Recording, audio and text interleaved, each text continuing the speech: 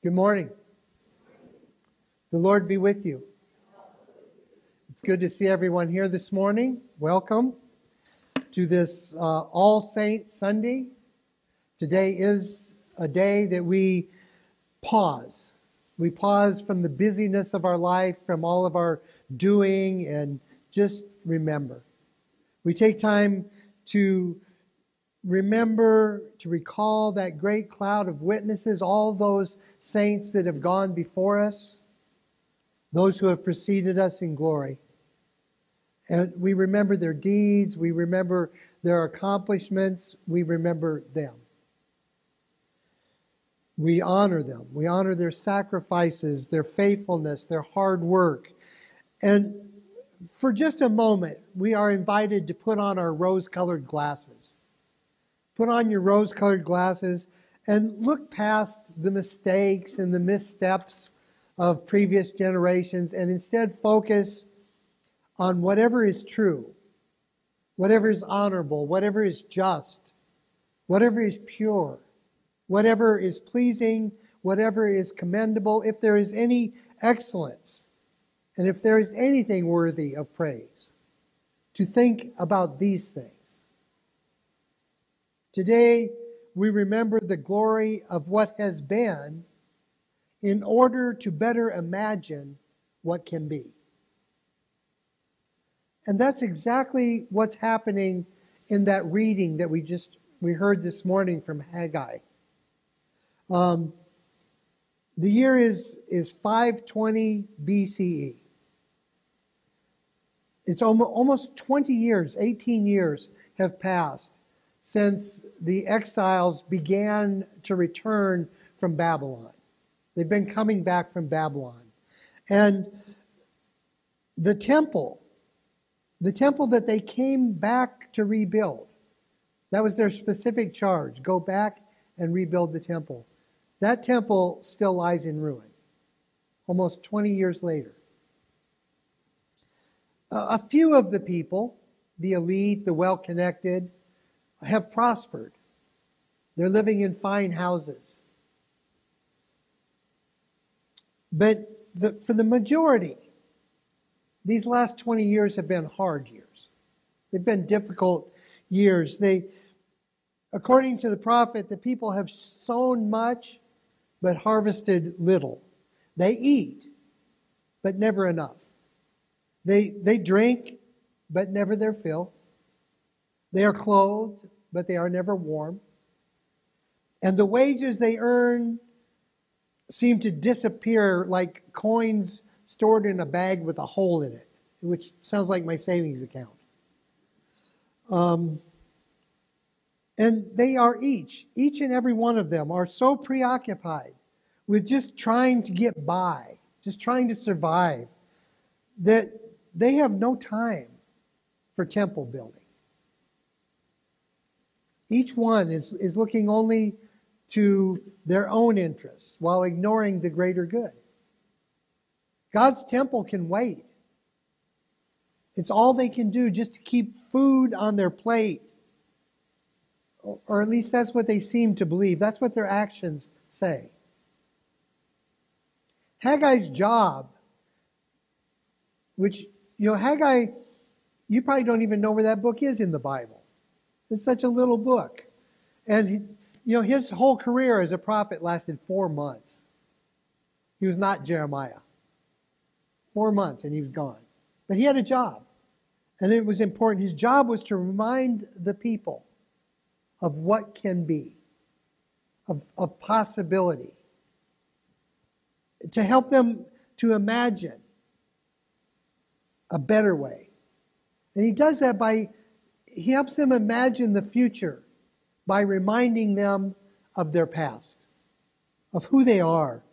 Um, he asks the question Who is left among you who saw this house in its former glory? How does it look to you now? Is it not in your sight as nothing?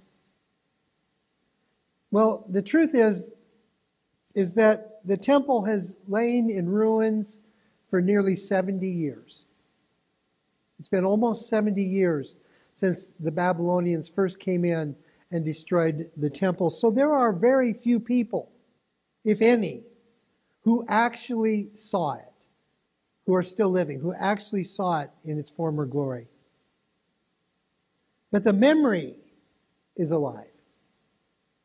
The memory persists. The people have all heard the stories. In Babylon, while, when they were in captivity, uh, the older people would, would sit around and tell stories about Jerusalem and about the temple and how wonderful it was. All those vivid descriptions had been passed down to the next generation. They remember the glory of the former days and they are discouraged. They remember what was and they look at what is and they cannot imagine what could be. They're discouraged because they have forgotten. They have forgotten that there was a time before Solomon's temple. The temple wasn't always there. There was a time before Solomon's temple was built. They have forgotten that there was once a time when they were slaves. They were slaves in Egypt until God liberated them, until God sent Moses to lead them out of captivity. They have forgotten that they were a landless people wandering in the wilderness until God parted the waters of the Jordan and ushered them into the promised land. They have forgotten that with God, all things are possible. With God, all things are possible. And somebody should say amen. Because it's true. You know, that's what amen means. It's true. With God, all things are possible. Therefore, the prophet speaks, saying, Take courage. Take courage, all you people of the land. Work, for I am with you, says the Lord of hosts, according to the promise that I made when you came out of Egypt. My spirit abides among you. Do not fear. You know, it's easy to, to look back with a kind of a nostalgic longing on the good old days. To remember what now may seem like better times. When we were greater, when we were stronger, when we were wealthier. to look back on those times, it's very easy to look back on those times and to despair that we will ever be what we once were, that we will be great. It's easy to get caught up in that, that day-to-day struggle to survive and to forget to forget that God has a plan for us. And that plan is to prosper us. That plan is that we would thrive. But here's the thing the God who called the people out of Egypt is still God. The, the Spirit who embodied those, who, who empowered those who built Solomon's temple, is still God. The same Spirit that dwelt in them dwells in us. And if our temple is in ruin, if our society is in ruin, if our lives are in ruin. Haggai says it is because we have failed to seek the common good. We've looked to our own interests, and we've placed those interests ahead of the needs of others.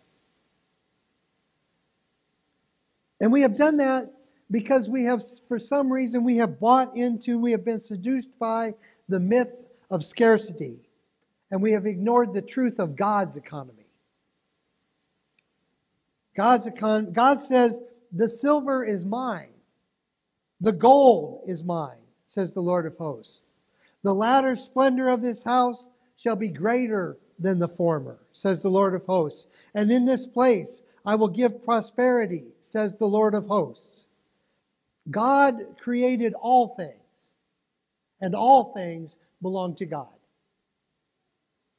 The problem, if there is a problem, the problem is we tend to get our priorities messed up. We place our needs ahead of the needs of others. We prioritize our material well being over our spiritual health and our individual needs ahead of the common good. We allow the demands of our everyday life to overshadow the things of God, the things that God has called us to. You know, Jesus taught us a better way, didn't he? He taught us a better way, saying, Therefore, do not be anxious, saying, What shall we eat? Or what shall we drink? Or what shall we wear? Your heavenly Father knows that you have need of all these things. But seek first the kingdom of God and his righteousness, and all these things will be added unto you. Friends, take courage. It's easy, it's easy to get discouraged looking around at the world today. But take courage. Remember the glory of the former days, but do not get stuck there. Do not dwell in the past. God is doing a new thing. Remember the saints, all of the saints who have gone ahead of us, and take courage. Learn from them. The Spirit of God that was at work in them is now at work in us. The same Spirit. And this is the promise. The latter splendor of this house shall be greater than the former. Things will get better, and they will be better.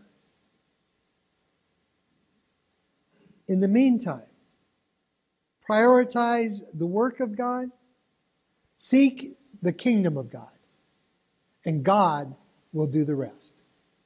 Amen.